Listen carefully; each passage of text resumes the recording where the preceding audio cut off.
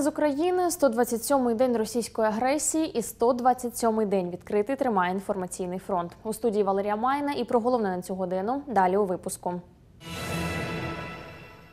Сплатили за газ одній компанії, а борг мають перед іншою. У понад мільйона мешканців Дніпропетровщини автоматично змінився постачальник блакитного палива, але про це не попередили. Пришвидшують перемогу в тилу. Дніпряни плетуть маскувальні сітки та одежу для українських захисників. На український лад у Дніпрі вже дерусифікували понад 70 вулиць. Про це та інше більш детально. У понад 10 мільйонів українців несподівано змінився постачальник газу. Офіційна причина зо два десятки регіональних газзбутів не змогли домовитися з Нафтогазом про купівлю блакитного палива на наступний рік. Така доля спіткала і Дніпропетровськ газзбут, а значить і понад мільйон його клієнтів. Усіх нас перевели до нової газопостачальної компанії Нафтогаз. Сталося це по-тихому. Про зміни люди дізналися тільки всередині червня. Хоча, як з'ясувалося згодом, газ від Нафтогазу отримували вже з 1 травня. Тож сплатити за спожите в попередньому місяці мали йому. Як повернути переплату та скільки тепер коштуватиме газ? Дивіться в нашому спецрепортажі.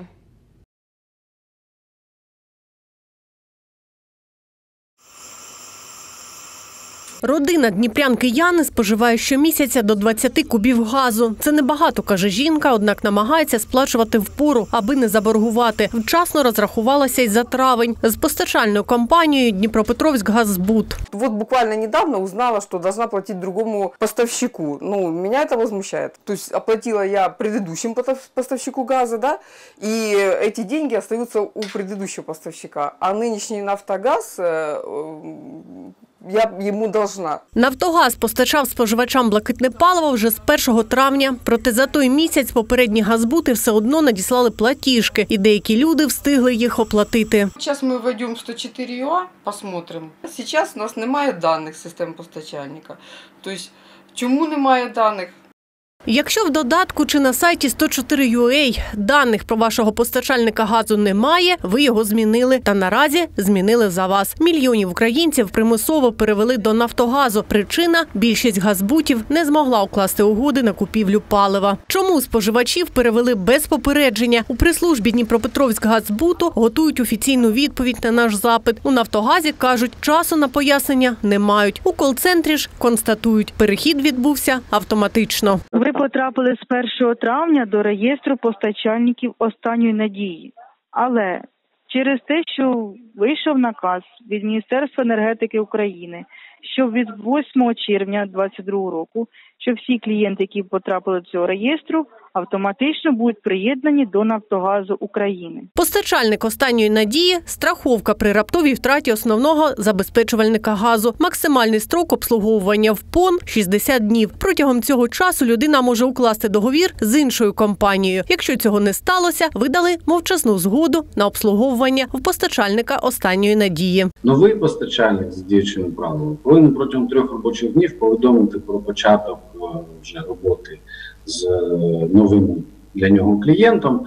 Е, Клієнта письмово там, а, ну, а він цього не зробив.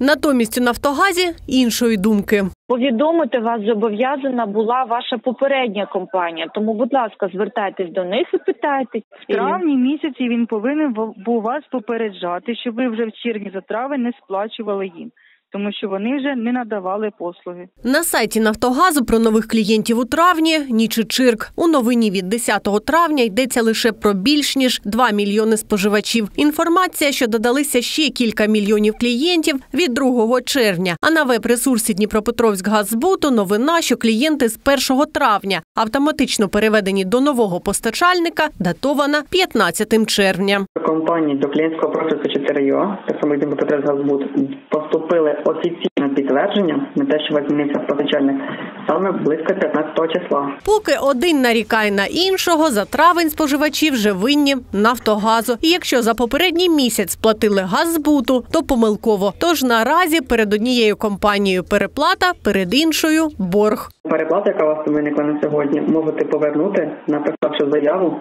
на електронну пошту компанії або на юридичну адресу компанії, вказавши реквізити банківської карти для повернення і прикріпивши копію паспорта кода і квитанції по оплаті, з якої виникла переплата. Усі копії документів треба завірити, поставити дату, підпис та написати згідно з оригіналом. газорозподільна е, компанія, тобто ваш минулий постачальник, повинна вас повідомити, у який строк кошти будуть повернуті. Правчиня акцентує зміна газопостачальника, ініціатива споживача, усе інше порушення його прав. Перше, куди треба скаржитись в рамках досудового врегулювання спору, це е, НКРЄКП та антимонопольний комітет України.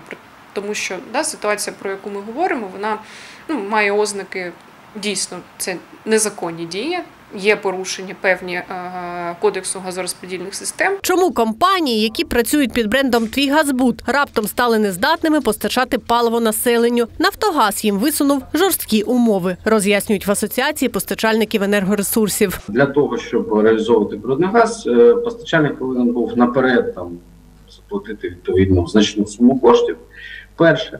І друге, це умова щодо за там досить е, короткий проміжок часу е, необхідно було зменшити заборгованість там поточно постачальників перед, е, ну, перед Нафтогазом до рівня там менше 10%. Змінити постачальника можна будь-коли. Хоч ринок змінився, альтернатива є. Перелік на сайті Газправда. Якщо ж ваш постачальник Нафтогаз, рахунки в особистому кабінеті MyGaz.ua або чат-боті Gaz.ua у Viber та Telegram. Друковані рахунки доставлятимуть після 25 числа щомісяця. Показники передаєте, як і раніше. За рішенням уряду, ціна на газ для людей незмінна до 30 вересня 2022 року. У Нафтогазі вона зараз 7 гривень 96 копійок за кубометр. Це без доставки. У червні рахунки від Дніпропетровськгаззбуту отримають лише ті споживачі, які мали борг на 30 квітня 2022-го. Загалом він понад 630 мільйонів гривень. Валентина Максимович, Олег Радіонов, Ярослав Засоба, Open News, телеканал відкритий.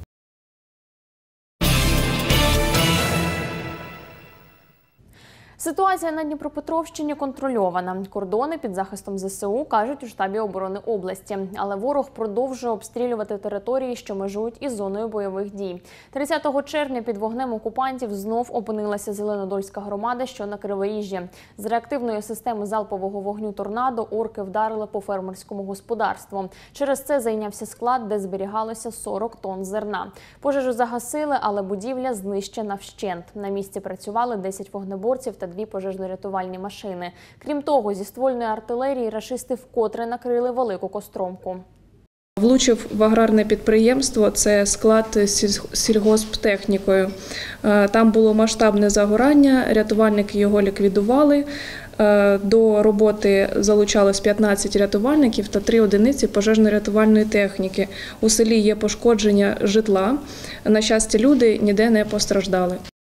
А ще у Зеленодольській громаді також пошкоджені комунальний заклад та дачні будівлі в кооперативі «Отдих». Зеленодольський міський голова Дмитро Невеселий зазначив, через високу вірогідність обстрілів місцевим заборонено відвідувати паркову зону, пляжі та дачні кооперативи та порадив без крайньої необхідності не пересуватись вулицями. Це був приліт крилатої ракети, яка вдарила по дачному кооперативу. Слава Господу Богу, ніхто не постраждав, хоча на цій дачній ділянці працювала жінка, але її тільки травмувало уламками, не уламками, а кусками глини. Можна сказати, що пощастило.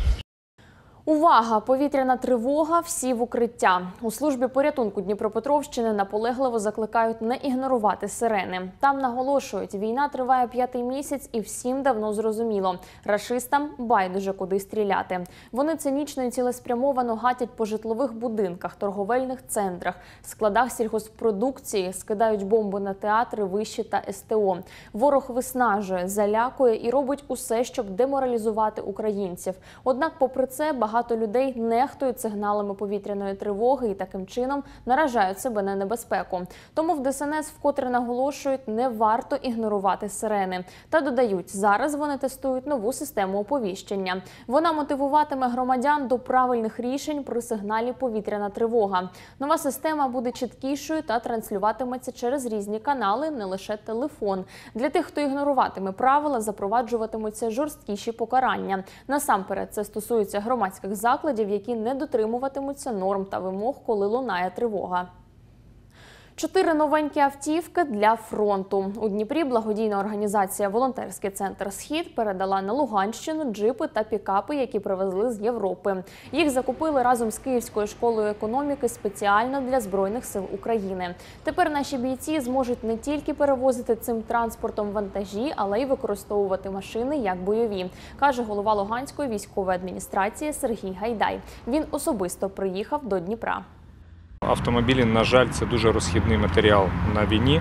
Вони довго не живуть. Автівки ну можуть і місяць проїздити, а можуть і два дні. Тому що ну, щільність вогню в Луганській Донецькій області не можна порівнювати з е, будь-якою іншою областю в е, Україні. У благодійній організації кажуть, завдяки спільному проєкту з Київською школою економіки до кінця літа планують передати ще 60 пікапів та джипів для української армії. Хочу звер... звернутися до е, народу України, до підприємств, до підприємців з проханням приєднуватись до нас, до долучатися до нашої програми, тому що і 60 автомобілів це, на жаль, не, не та е, цифра, яка потрібна нашим воїнам сьогодні. Їх потрібно 600.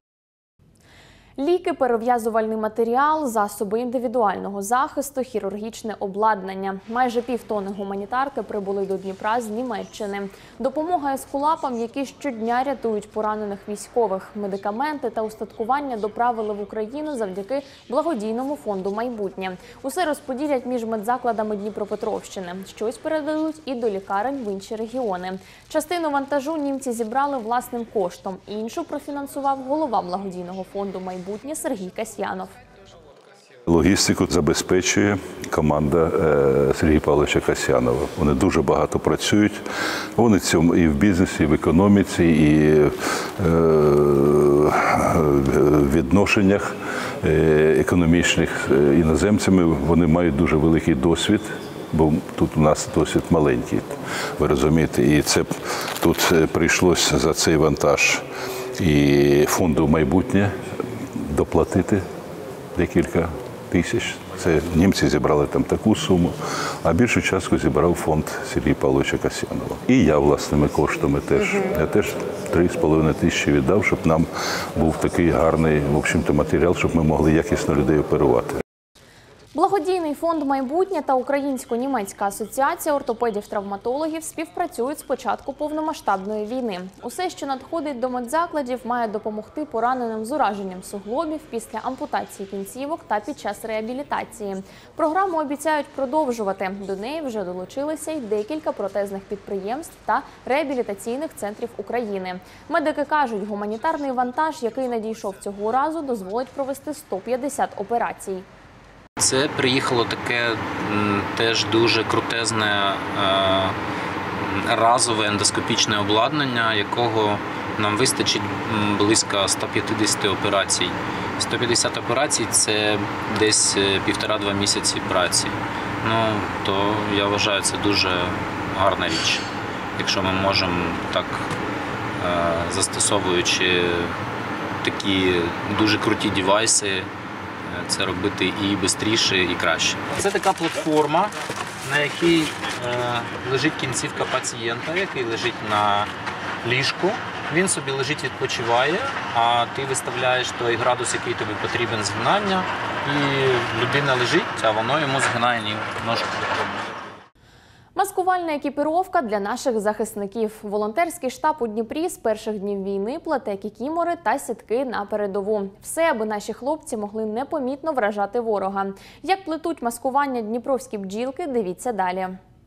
Щодня зранку до вечора дніпровські бджілки, не покладаючи рук, виготовляють кікімор для наших захисників. Робота кажуть, копітка та багатоетапна. Спочатку треба підготувати матеріал. Для цього розпускають десятки мішків. Раскраивали примерно такого размера. Где-то 25, 25, 25, 30 вот это. И здесь 20 вот так. Раскраивали. И все, а потом уже берем и по каждой ниточке, по каждой ниточке складируем и относим к кимору. Пані Катерина найстарша з волонтерок у центрі. Їй 80. Вже зо два місяці старанно працює в тилу на перемогу України, адже це вже друга війна в її житті. Мне во время войны убили родителей, маму и папу с трех лет. И я с трех лет сама одна. Нету ни тети, ни дяди, ни сестер, никого. Ну и как? И я решила, ага, я же уже знаю, что такое война. И думаю, надо помощь оказать. Надо оказать эту помощь. И все. И поэтому по сей день, сколько это будет времени, буду ходить. От волонтерка Яніна разом з коліжанками відповідає за плетіння маскувальних кікімор. Каже, головне використовувати натуральні тканини. Спочатку фарбували мішки в зелений, тепер беруть нитки, які під колір сухої трави. За мирного життя дівчина працювала бухгалтеркою. Та сьогодні для неї у пріоритеті робота в тилу. Плести зазначає не важко. Головне робити це з любов'ю. скоріше морально тяжко було, тому що знаєш, що оця ця кікімора поїде туди. І Кому-то вона буде потрібна, вона буде захищати. І от у нас дівчата, коли плетуть, постійно кожна там плете, плете, потім починає так гладити. Каже, ми частинку себе передаємо їй для захисту. Плетуть одну кікімору для хлопців, кажуть бджілки, у 10 рук два дні. Начебто, на перший погляд, проста робота, однак ювелірна. Розуміють, невдале маскування може коштувати життя захисникові, тому все роблять на совість. беру зовнішні краї, ось так накладаю. І так само тут знаходжу крайні ячейки по штанині і зшиваю по зовнішній половині. Ось так. За міцність швів відповідає Вікторія. Вона старанно, не пропускаючи жодної клітинки, зшиває всі деталі. Готову кікімору відправляють до координаційного штабу волонтерів, а ті хлопцям на передову. Ми нашиваємо біля серця отут ладанку і промовляємо молитву в цей час, щоб Бог оберігав їх і вони повернулись додому живі і неушкоджені. Плетуть у штабі маскувальні сітки. Стрічку за стрічкою нарізає пані Галина. Жінка виїхала з тимчасово окупованого Мелітополя. Каже, ось так в тилу допомагає ЗСУ. Краще, якщо тканина буде натуральна, вона і краще нарізається.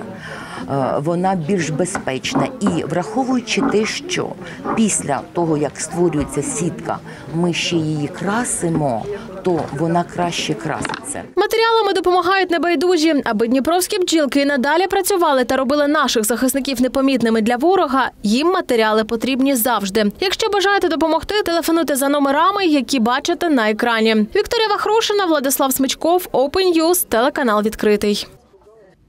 Сила у єдності у Дніпрі кілька чоловіків годують десятки людей щоденно. З початку великої війни місцеві волонтери допомагали гуманітаркою та їжею вимушеним переселенцям. Зараз зупинились на приготуванні обідів. Отримують страви два дніпровські шелтери. Туди привозять тару з їжею, а потім на місці роздають порційно, щоб не витрачатись на одноразовий посуд.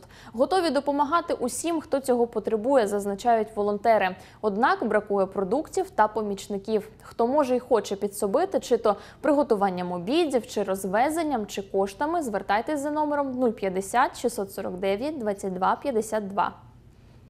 Каждый день мы кормим около 50 человек. Э, Кормим мы в основном переселенцев или люди, которые нуждаются. У нас есть несколько адресов, которым, по которым мы развозим пищу. Это так должен делать многие люди и каждый человек, помогать в данный момент тем, чем может. Я выбрал себе такое направление. Друзья, очень нужна ваша помощь. Любая помощь. Абсолютно любая. У нас очень часто опускались руки. Хотелось все бросить. Ну, казалось, что выхода нет, зашли в тупик. Но всегда находились люди, которые давали полезные контакт- контакты, помогали материально. Помогали транспортом, помогали ну, всем, чем можно. Просто любая ваша помощь очень важна в данной ситуации. Для нас, для всех.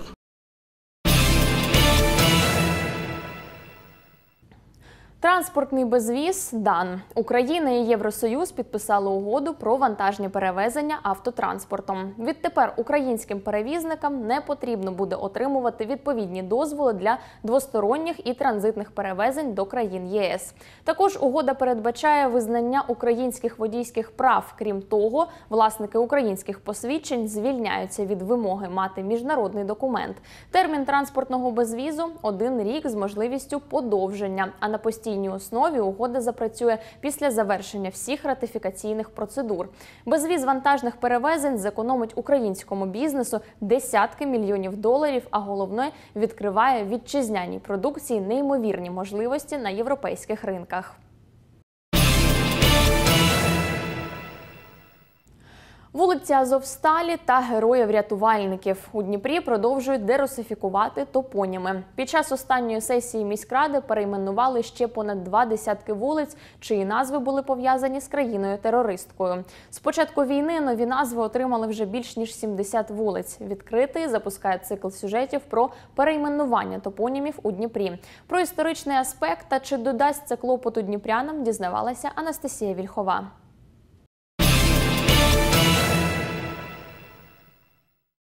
Перші перейменування в Дніпрі стартували у 2015 році. Надихнув Євромайдан. Тоді змінили назву 259 вулиць, провулків, проспектів, площ, парків та скверів.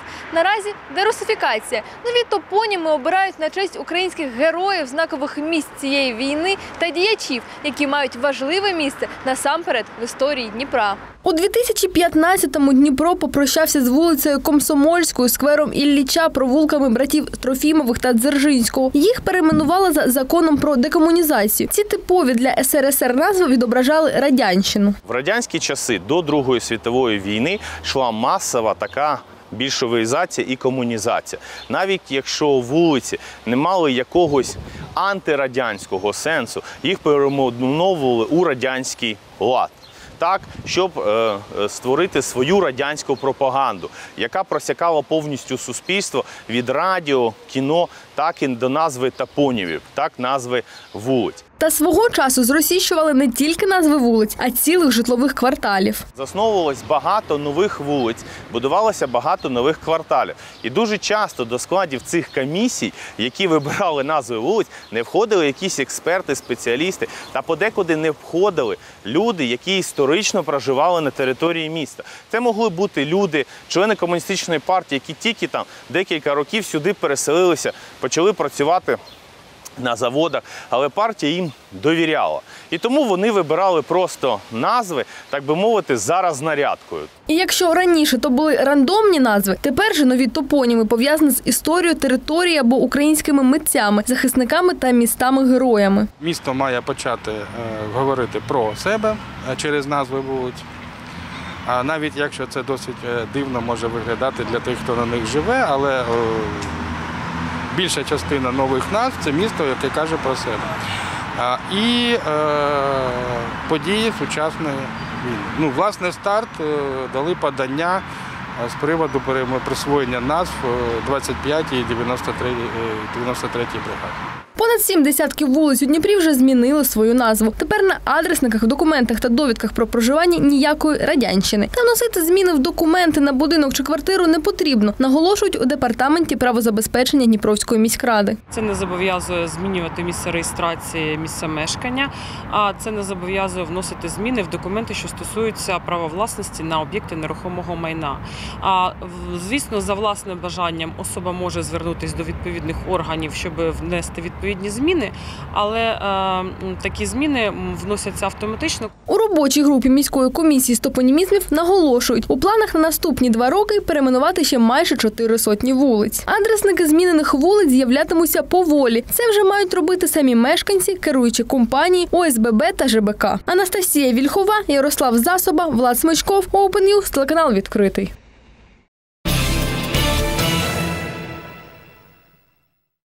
Ошукали громадян на 100 мільйонів гривень. Кіберполіція України викрила злочинну групу на привласненні грошей українців під виглядом соцвиплат з ЄС. Організували оборудку дев'ятеро людей. Зловмисники створили понад 400 фейкових веб-ресурсів для отримання банківських даних українців. Поліція порушила кримінальне провадження за статтею шахрайство та несанкціоноване втручання в роботу інформаційних, комунікаційних, електронних мереж. За місцями проживання фігурантів правоохоронці провели обшуки, вилучили комп'ютерну техніку, телефони, банківські картки та гроші. Зловмисники чекають на оголошення підозри та обрання запобіжних заходів. За скоєне аферистам може загрожувати до 15 років за ґратами. Через сайти українцям пропонували сформувати заявку на виплату грошової допомоги від країн Європейського Союзу. За фішинговими посиланнями потерпілі проходили опитування та зазначали реквізити банківських карток. Отримавши банківські дані, зловмисники здійснювали несанкціоноване втручання до онлайн-банкінгу та виводили гроші з рахунків громадян. За даними НБУ, зловмисники ошукали більше 5 тисяч громадян. Загальна сума збитків сягає понад 100 мільйонів гривень. Вирощував коноплі просто на власному подвір'ї. Плантацію нарковмісних рослин поліція Кривого Рогу знайшла у 36-річного місцевого жителя, раніше засудженого. Поблизу свого будинку чоловік висадив та плекав понад 250 кущів конопель. Крім того, у нього виявили ще й пів кілограма канабісу. Все вилучене направили на експертизу. За її результатами вирішать питання про відкриття кримінальних проваджень та ухвалять рішення про вручення чоловіку повідомлення про підозру. Отримати автограф Леонардо Ді Капріо та допомогти тваринам. Українська зоозахисна організація UA Animals розігрує підпис легендарного голівудського актора. Шанс позмагатись за частинку Лео є у кожного. Усе, що потрібно, це задонатити 300 гривень на рахунок UA Animals. Організація обере переможця 1 липня за допомогою рандомайзера, а виручені кошти спрямує на порятунок тварин, які постраждали від війни. За справжність автографа не варто турбуватись. Він пройшов спеціальну експертизу і має відповідний сертифікат. Автограф Леонардо для розіграшу передав американський колекціонер, який багато років займається колекціонуванням сертифікованих автографів світових знаменитостей. Мрії бути в Україні з'явиться новий транспортний літак. Вже зараз розробляють проєкт його будівництва. Про це заявив представник парламентського комітету з питань нацбезпеки та оборони Давид Арахамія. Допомогти в цьому пообіцяв британський мільярдер, засновник компанії Virgin Galactic Річард Бренсон, який днями приїздив до Гостомеля. Він завітав на литовище Антонов та зацікавився можливістю його відновлення. Нова мрія буде оновленою версією Ан-225 на базі сучасного цифрового обладнання. На цьому в мене все. Більше новин на нашому сайті та в соцмережах. Сюжети на YouTube. Дякуємо, що продовжуєте дивитися відкритий. Ми мужня країна Україна.